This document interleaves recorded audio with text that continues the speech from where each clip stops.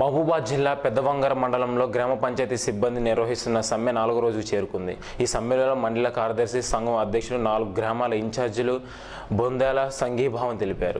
నిర్వర్తిస్తున్నాను. నా చేతి కింద పనిచేసేటువంటి సిబ్బంది మాత్రము వాళ్ళకు చాలా తక్కువ వేతనాలతోటి పనిచేస్తున్నారు వాళ్ళు. వాళ్ళకు ఆ తక్కువ వేతనాలు ఇవ్వడం కూడా మాకు జర నచ్చటం లేదు. దీన్ని ప్రభుత్వం స్పందించి వాళ్ళకు కనీస వేతనం అనేది ఒకటి వాళ్ళకు ఏర్పాటు చేయాలి.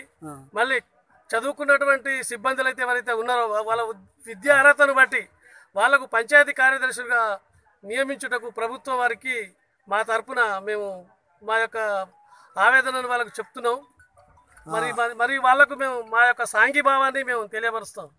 నా పేరు కుమారస్వామి పెద్దవంగర మండల గ్రామ పంచాయతీ సిబ్బంది అధ్యక్షుడిని.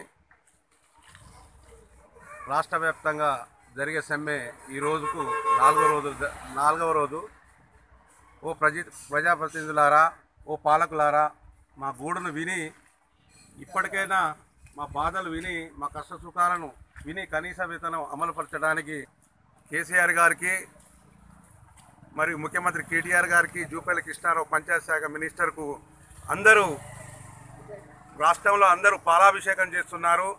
కానీ మేము పాదాభిషేకం చేస్తాం మా చేసిన డిమాండ్లను మీరు అమలుపరిస్తే పాలాభిషేకం కాకుండా పాదాభిషేకం చేస్తాన్ని కూడా మేము మా సిబ్బంది మొత్తం ఆవేదన వ్యక్తం చేస్తున్నాం. కాబట్టి ఉద్యోగరీత్యా మా పంచాయతీ సెక్రటరీలు పెద్దవంగర మండల పంచాయతీ సెక్రటరీ వాళ్ళు సంఘీభావం తెలపనైనది. కార్మికుల ఐక్యత.